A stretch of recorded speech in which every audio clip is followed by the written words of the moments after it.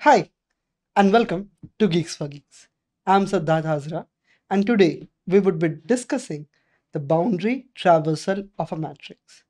So, this problem is self explanatory itself, but if you are an absolute beginner, you might not know that what is this matrix concept is all about. Basically, matrix is nothing, not a separate data structure, it is basically a 2D array and it forms a matrix, and you need to traverse all the boundary elements itself. So, now if you see the hint itself, you would get the very first hint but moving forward to that, I would also cover the hint as well as the solution itself. So now let us see the very first test case. So in the first given test case, we see that the numbers are 1, 2, 3, 4, 5, 6, 7, 8, 9, 10, 11 and 12 and then we have 13, 14, 15 and 16 itself. Now let us see the address of it. If you don't know, I would just revise that thing for you. So basically the address of this one is 00, this is 01, this is 02, this is 03. In the same manner, this is 10, this is 11. This is 12 and this is 1 3 Okay, so this is how it would progress itself.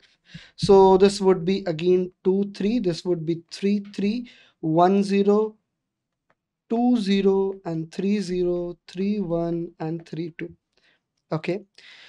So now printing out the boundary elements mean that you need to print this one this one this one this one. Okay? So now we can see that we need to print 1 2 3 4 let's just break down all the things. Like the very first one we are talking about is this one. Okay? So to print 1 2 3 4 what we can really do is we can start with the zeroth row and print all the numbers in the column. Like we can start a for loop. Let's say the number of rows are r and the number of columns is c. So we go to the zeroth row okay?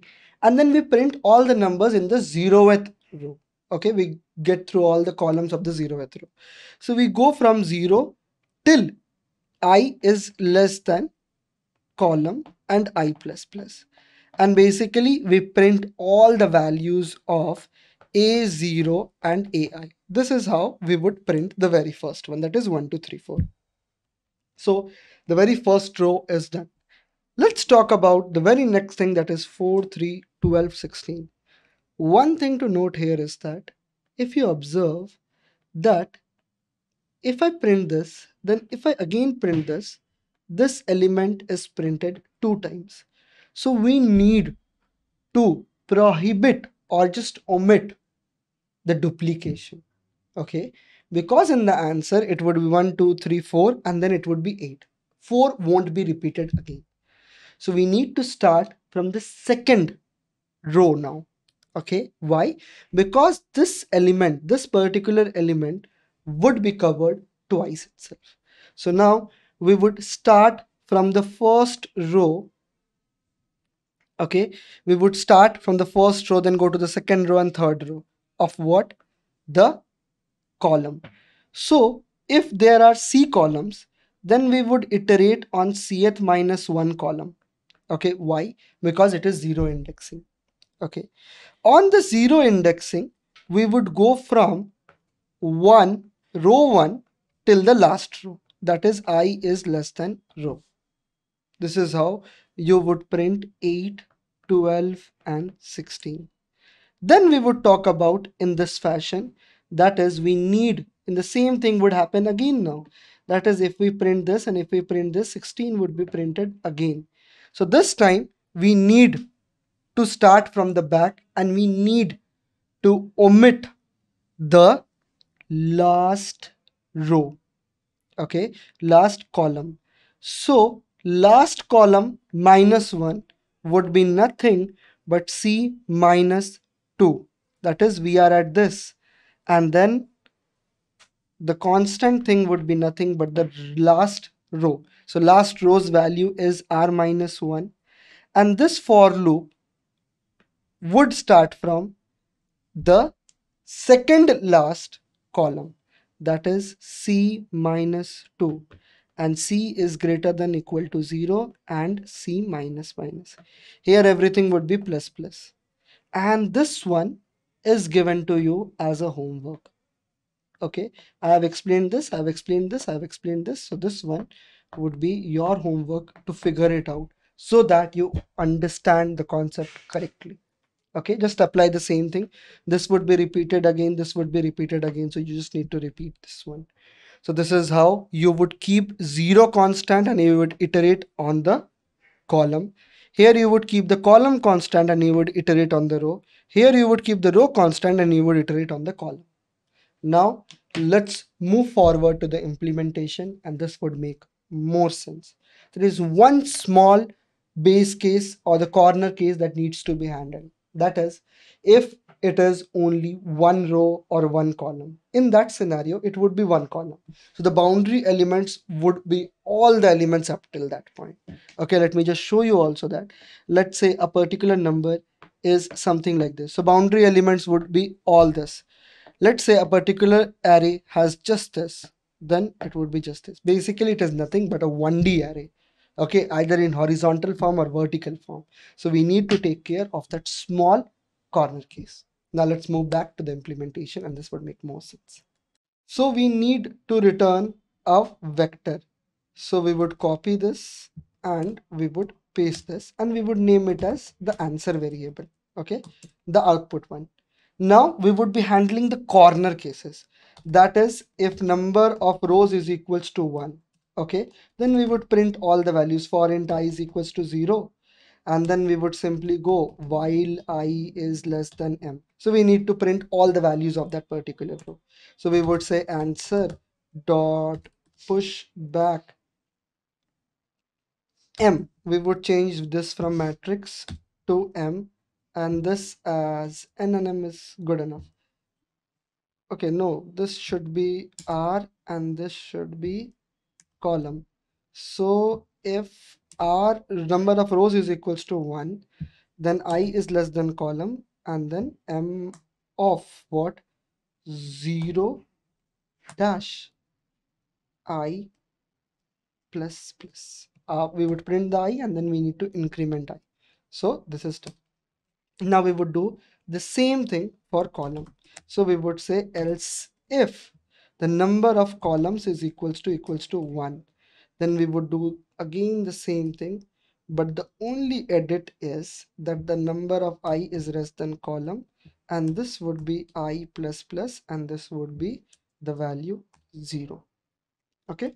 And this would start making more sense. At the end we have like the number of rows and number of columns are more than one. Either the number of rows and columns are more than one. So now what we really need to do is we need to say for int j is equals to 0 j is less than column and j plus plus. And this would be nothing but answer dot push back m of 0 comma j. Okay this is done after that the first row has been printed. So we need to start from the second element of the second row and the corner elements.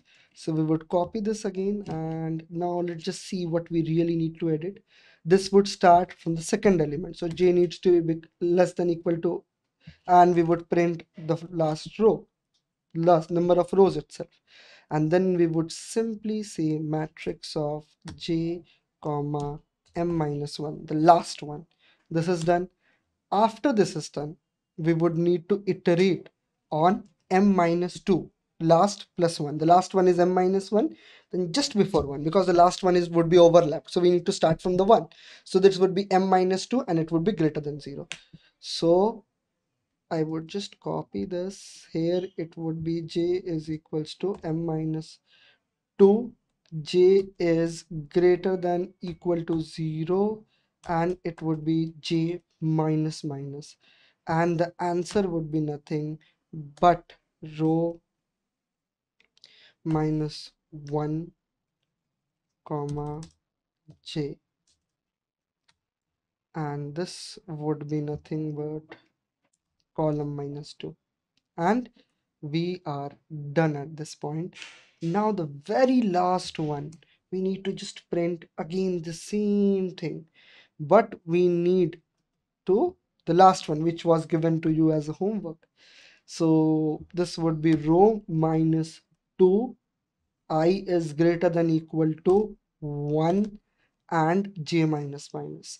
Here it would be nothing but j of 0 and then we would simply return the answer variable.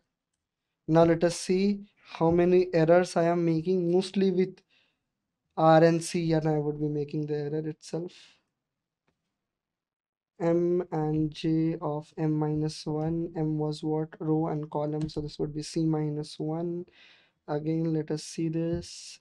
If I make sense seems like this should be correct and this is correct. Now let us submit this and see if we can get an AC or not.